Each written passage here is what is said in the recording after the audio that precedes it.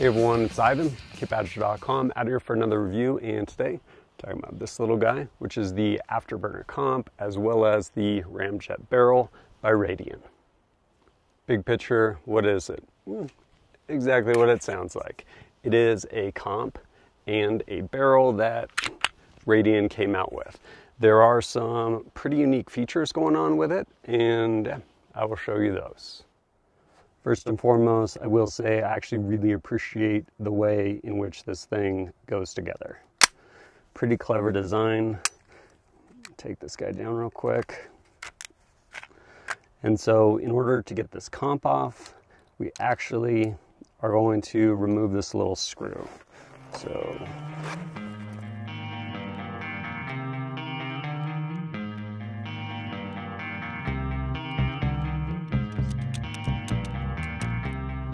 But basically right here with the barrel,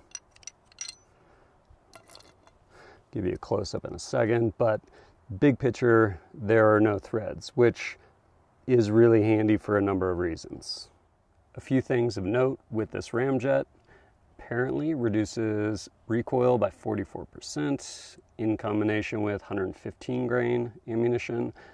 I'm not sure how they got that number, but it definitely reduces recoil. It is made of a 17.4 stainless steel, and one actually kind of cool feature is the way it's shaped. It's not totally squared off like your Glock, which has potential to help in reholstering, and it is DLC black. The other barrel itself is fluted, has a polished feed ramp, match grade rifling, again 416R stainless steel, black DLC coated, and it's pretty cool the way this basically works in conjunction with the afterburner in how it mounts up. So I'll show you that now. To put this thing together, it's pretty cool. There's just this notch. There's no washer, shim, set screw. It's not threaded, which if you live in a freedom reduced state, it's kind of a big deal because for your safety, not allowed to have a threaded barrel. But gonna put this thing on here push it until it's seated like that. Leave ourselves some room to work with out here. Take our tapered screw, drop that in there, and then use fix-it stick, 15 inch pound limiter, put it on there, go until get our click right there and now this thing is on there. So before we put our guide rod in, we should probably talk about this little guy. This right here is the Radian compressor. It is a quick tune guide rod and it comes with a 13, 15, and 18 pound spring. Also, kind of hard to see, but the guide rod is actually fluted, so there's less surface area that the spring's riding on, less tension, and they ended up making this. So I've been running this in here. Go ahead, throw this guy in here, and get us back together.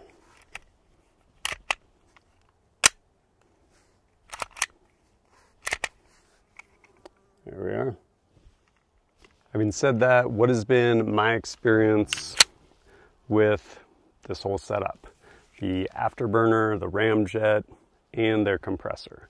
So I will say straight out the gate, I got one of the pre-production ramjet and afterburners and I ran into issues. Issues largely related around, I think, spring tension, and they were also doing some stuff with, I think, the geometry as well as the coatings and the polishing on the feed ramps. So, consequently, I ended up running into some issues. Since then, they ended up sending out a revised one, which is their actual production model. And with that, I ended up with a pre production of their compressor, which I ran for a while initially. I don't think it was even coated, it was just raw metal, and did an awesome job for me. And then I was actually headed down to Thunder Ranch. I was going to go shoot this gun a little down there and stopped in to say hi. They're like, hey, we actually have our production compressor. So I was like, cool. They swapped it out for me. And ever since I swapped over to that compressor with basically that lighter spring or heavier spring, I don't remember which, it's been doing an amazing job for me. Like zero issues whatsoever, regardless of what I've put through it. So after initially shooting it with kind of a bunch of different ammo, I ended up actually taking this down to Thunder Ranch and yeah, did some shooting with it there. It's pretty fun to include some shoot house runs. One shot, one hit. Good, yellow. Good, down, head, down, jar head. Don't get a canoe rack. Good, green, cross, fence. Doesn't matter. Whatever you want.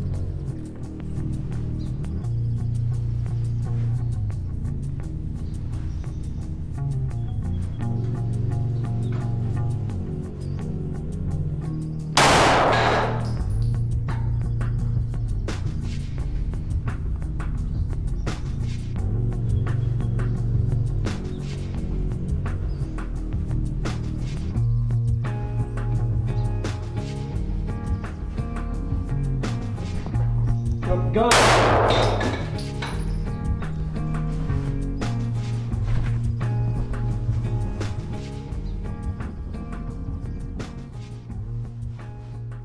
then, most recently, still continuing that journey on the other strong side, I actually shot this in a low vis or limited signature pistol class with Ruination and did an awesome job.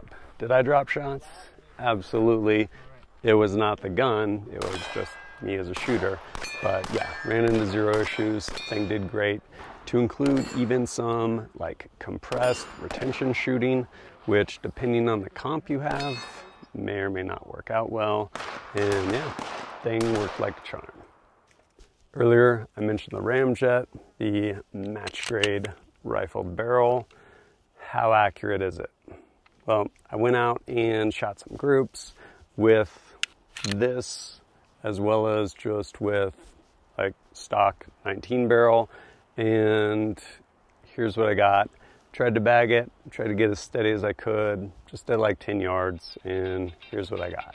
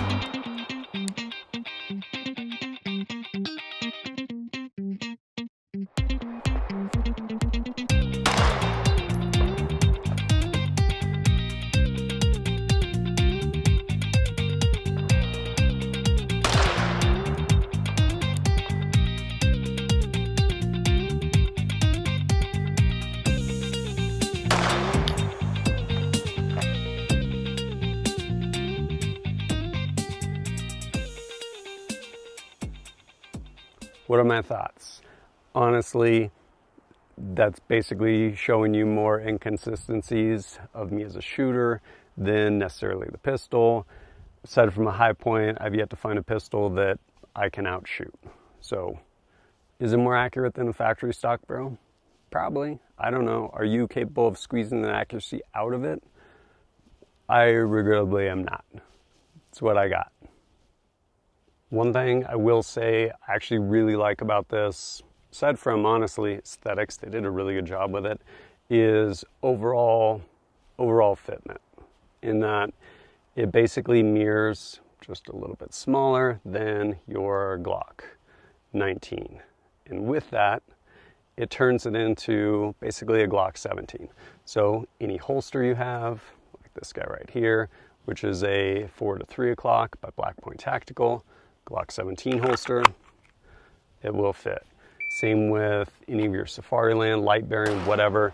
If you have a Glock 17, it will now fit your Glock 19 or Glock 45 with the ramjet and afterburner, which is actually a pretty big deal. Finding a comp You're like, oh, sweet, I got a comp. And then trying to find a holster, and some of them really do not play well with holsters, turns into a huge mess. The fact that this will now go in any Glock 17 holster, I think that's pretty cool. Which brings us to my overall thoughts on the Radian, Afterburner, Ramjet, and I guess the compressor. So, a lot of these will largely be with respect to comps on pistols, period, but specifically with respect to the Afterburner and Ramjet. We'll go ahead and talk about that for a second. Yeah, what are my thoughts? Well, first of all, you need to answer the question what am I looking for in a comp, like a comped pistol? Do I want it because it looks cool? If the answer is yes, good job. Like, own it. Totally fine. There's no gatekeeper. If you want something because it looks cool, do it. And in fairness, I think this probably looks the coolest of any comp. They did an amazing job with respect to aesthetics and everything like that. And it also functions and works. Really cool. The way it goes together, like the fluting, geometry of everything, I think it's probably the coolest one out there. If that's you, go for it.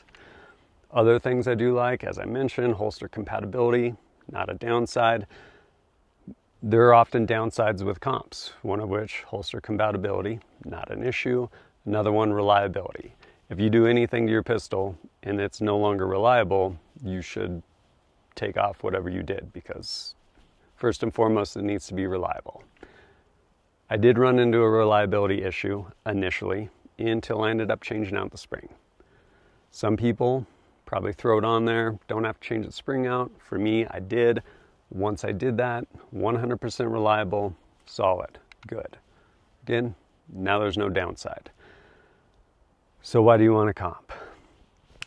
If it's not to look cool and it's because you're like, hey, I'm going to shave some time off of those splits, some hundredths of a second and whatnot. I think that's totally valid if that's where you're at. If you're like, hey, I want a comp because my gun will shoot flatter and I can get on target faster. And then in the same breath, you tell me you don't have a shot timer and you don't have like a metric for like El Pres or bill drills or anything like that over the last like six months that you've been logging then how do you know if this does anything for you? For my own part, I I think there is value there. Like you can 100% shoot flatter. Can you shoot faster? Maybe. Can you shoot faster accurately? That's the big question. And so it really comes down to I think the place at comp is really beneficial is for high level shooters that are basically tweaking and getting the most performance out of the gun as well as themselves. Most people, myself included, are not there. And that's okay. So then we go back to because it looks cool. Still totally valid. If you want to pick up a afterburner in Ramjet, it comes a pair. I don't think you can use them independently. Get them directly through Radian, about I want to say like 390 bucks not cheap. And they tend to be kind of hard to find. So my suggestion would be to basically sign up for notifications because they tend to sell out pretty quick. As far as their compressor guide rod and stuff, I want to say it's about 80 bucks. But yeah, that overall has been my experience with this Ramjet and Afterburner. And like I said, I think it's pretty cool. You either have a need because of skill and proficiency, or it's a want because honestly it looks cool. And whichever one it is, like you do you, man. But lastly, if you appreciate my content and want to support it, greatly appreciate it. Whether it's liking and sharing videos or going over to kitbadger.com, picking up stickers, patches, things like that, or supporting me directly through Patreon. Little as a dollar a month, early access to videos, as well as some exclusive stuff. And if you have questions, happy to answer them. We have active Discord over there. But as always, thanks for joining us at kitbadger.com. Look forward to seeing you next time.